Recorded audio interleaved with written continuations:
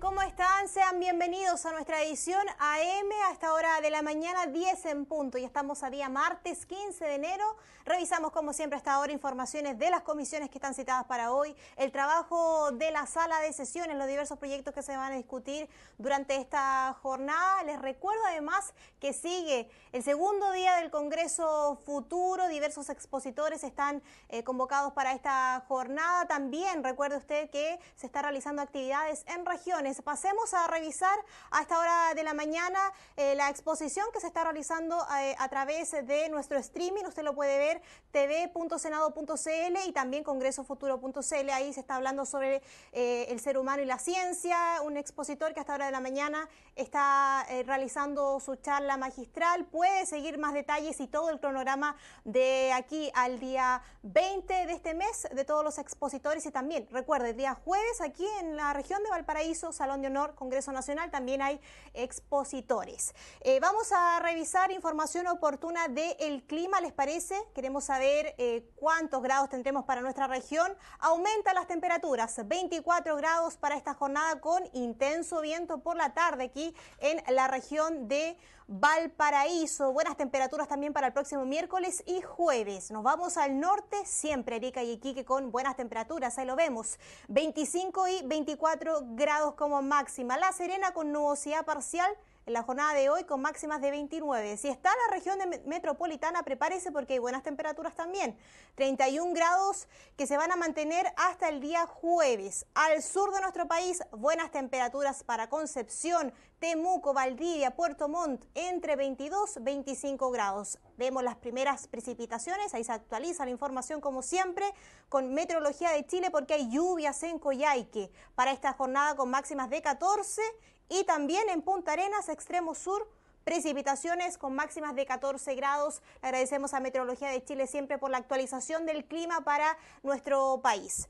Nos vamos a materias legislativas. ¿Les parece si revisamos lo que se viene para la sala de sesiones esta tarde? Usted todos los detalles, por supuesto, los puede seguir con senado.cl. Ya me acompaña el periodista Cristian Reyes con todos los detalles de la sala de sesiones. Cristian, ¿cómo está? Muy buenos días. ¿Cómo te va, Betsabe? Saludamos a quienes nos ven también en vivo y en directo hasta ahora. Jornada de día martes, eh, donde retomamos la actualidad del Pleno, comisiones en la mañana, también en la tarde-noche tenemos comisiones y la sala entre medio también con temas interesantes. Tenemos bastante actividad, Cristian, y por lo que veía, también la sala de sesiones tiene un sinfín de proyectos de ley, pero hay uno muy relevante que está en primer lugar de la tabla que tiene relación con esta modernización eh, de las Fuerzas Armadas y de Orden, un, nuevo sistema de financiamiento. Que han estado en la palestra de las Fuerzas Armadas a propósito del anuncio el día de ayer, también desde el Palacio de la Moneda, con algunos representantes ahí, incluso también de, a propósito de, los civiles que tienen injerencia en las Fuerzas Armadas a nivel administrativo, cómo se va a venir el futuro para ellos. Bueno, están de moda las Fuerzas Armadas y en este caso se estaba esperando este proyecto de esta que pasara a la sala el día eh, de hoy, eh, proyecto que tiene un nuevo mecanismo de financiamiento plurianual Recordémonos que pasó por Hacienda, pasó por Defensa, ah, Defensa lo vio en general y particular, Hacienda estaba medio reacio, estaba eh, en debate el tema de la discusión de los pisos también en cuanto si era necesario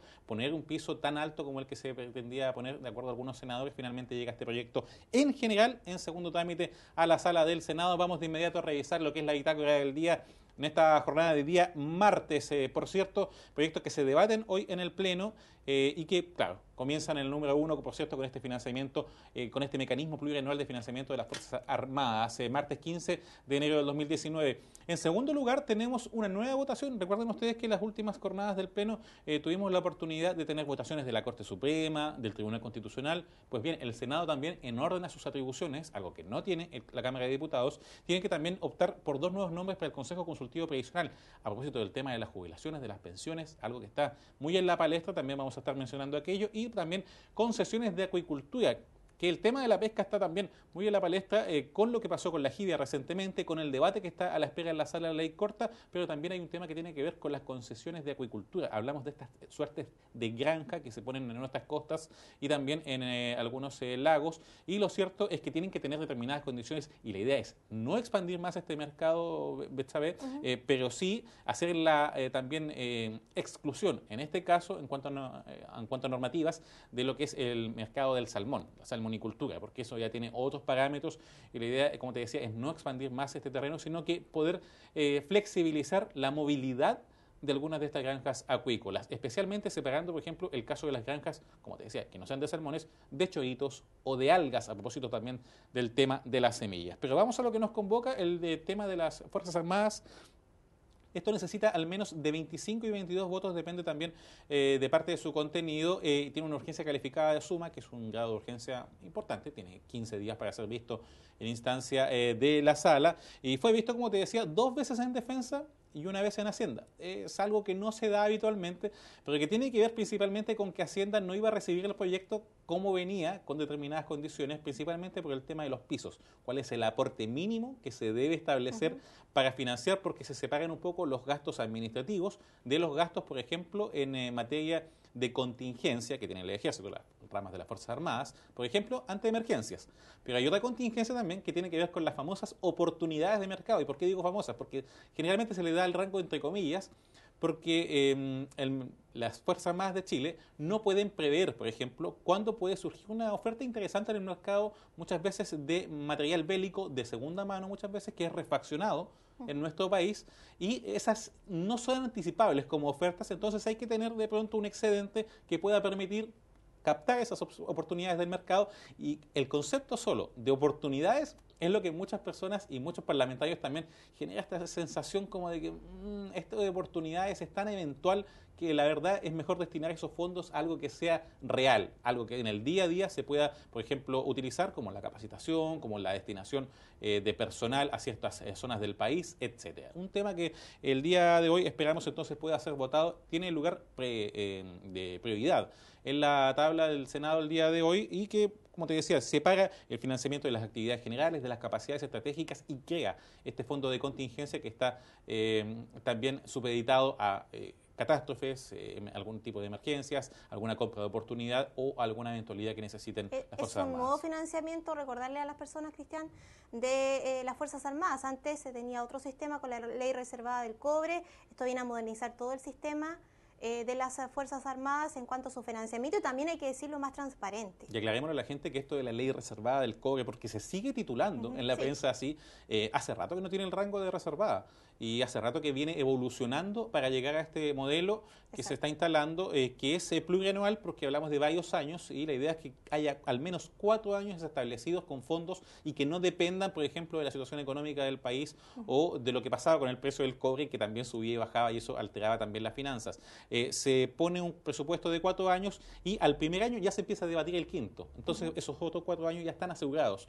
Eh, luego, al tercer año se empieza a debatir el sexto. Siempre va a estar con cuatro años establecidos de fondos independientes de los ciclos políticos que en nuestro país también duran cuatro años. Menciona los otros dos puntos rápidamente, lo que tiene que ver con el eh, oficio que yo te decía para nombrar a dos nuevos personeros en el Consejo Consultivo Previsional. Si usted no lo sabe, el Consejo Consultivo Previsional eh, tiene, está integrado por eh, asesores de los ministros de Hacienda y Trabajo y corresponde a eventuales modificaciones al pilar solidario, que es algo que en nuestro país también se ha estado hablando. Vamos a estar repasando a eso de las cuatro de la tarde los nombres, sus respectivos currículos y también en el tercer punto incluimos estas concesiones de agricultura que yo mencionaba en primer término.